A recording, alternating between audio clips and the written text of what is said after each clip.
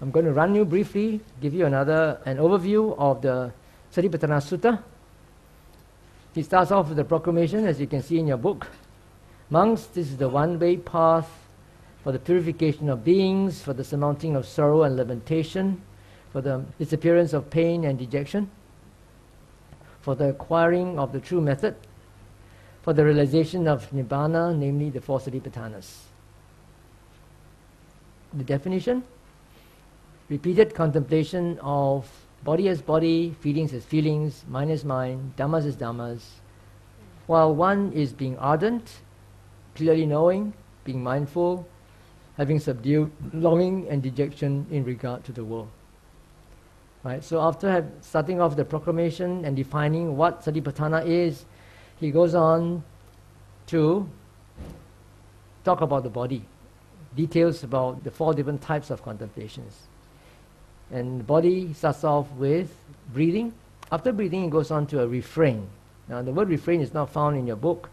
This one is invented by some scholars I got this idea from Isma Analayo in his book on Satipatthana. And this refrain refers to a passage that occurs again and again at the end of each exercise. And this refrain says, he contemplates internally, externally, both internally and externally. He contemplates the nature of arising, of vanishing, of both arising and vanishing. He is mindful that there is or are a body, feelings, mind, dhammas, just for knowledge and repeated sati. And he is independent and does not cling to anything in the world. All right, so this is the refrain. Coming back to the structure. So after the refrain, it goes back to postures, the next exercise. Then it goes to refrain again, then back to clear knowing, refrain, uh, 31 parts of the body. In the, in the canon, there are only 31 parts of the body, but in the book, in the uh, album, there are 32 parts. This was introduced by the commentary by Visuddhimagga. The brain is an additional part that was introduced. Goes to refrain and then comes back to the four elements, back to refrain, nine corpses, refrain, and you can see there's a double-headed arrow, which means that after every corpse, there's a refrain. Then back to the second corpse, refrain. Third corpse, refrain. Then after that, after the ninth corpse, then you go to feelings. Uh, after contemplation of feelings, you go back to refrain, and then you go to the mind, refrain again, to the dhammas, and then after each exercise in Dhammanupassana, you go back to refrain. You see? After the Four Noble Truths, you go back to refrain again, and then from that refrain, you go on to a prediction. We'll come to the prediction in the next slide. And conclusion. The conclusion here is a combination of the prediction and the proclamation. Now, if you look at this diagram, you will see that the backbone of the Satipatthana Sutta is the refrain, right? Not, and the refrain is a vipassana refrain, right? Not, it's talking about asking you to look at the arising, the nature of arising and vanishing. Now, let's look at the prediction. It says that monks, if anyone should develop these four satipatthanas in such a way for seven years, and then there's a countdown seven years, six years, five, four, three, two, one, and then uh, seven months, and so forth, until even seven days.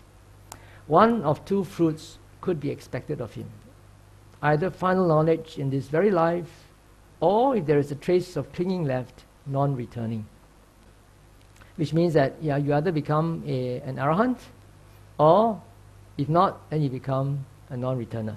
But then Ajahn Sujato, after he has done his scrutiny of the Satipatthana materials, according to the methodology that we talked about just now, observed that there are so many variations in the different versions of Satipatthana.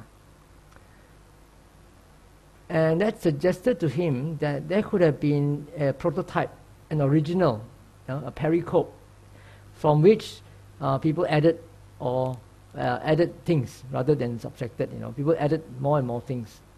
So, uh, using his methodology that we talked about just now, he hypothesized and reconstructed the so-called pericope or prototype of what the original Satipatthana could have been like.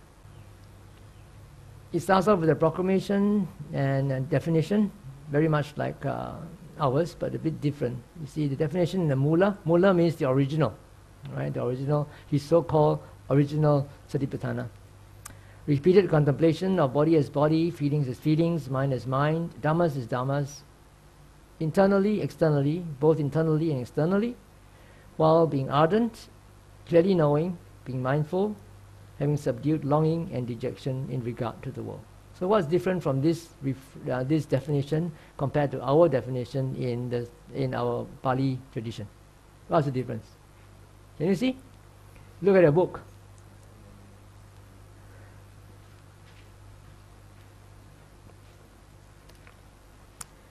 You see this one? Externally, internally, externally, both internally and externally, is not found in the definition in the Pali tradition.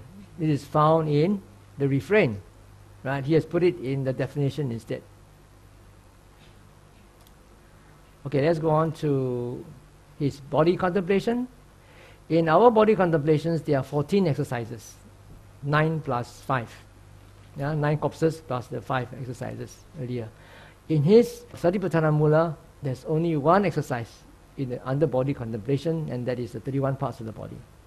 Followed by a refrain, and his refrain is also different is mindful for the sake of knowledge and vision that there is or are a body, feelings, mind, dhammas, is independent and does not cling to anything in the world. What's the difference? Can you see the difference? No vipassana here. No, not, there's no observation of arising and passing away, or vanishing and so forth. And ex- internal and external has been transported to the definition. So his refrain is uh, much more simpler. And also another word that he uses is knowledge and vision rather than for knowledge and repeated sati in our version. So the word vision here is also something quite different. Then after his refrain, he goes to feelings and back to refrain. Feelings are more or less the same. Mind also more or less the same. And then dhammas are also different. There are five exercises in our Dhammanupassana, but there's only two in his Mula. You have the five hindrances and the seven awakening factors, and then you go straight to refrain after you finish both of them. After the refrain, you go to a prediction, and then back to proclamation. Okay, that is his Satipatthana Mula. Let's do some chanting. Let's go on to page 12. Asma Kumara would be leading in the chanting, so please follow him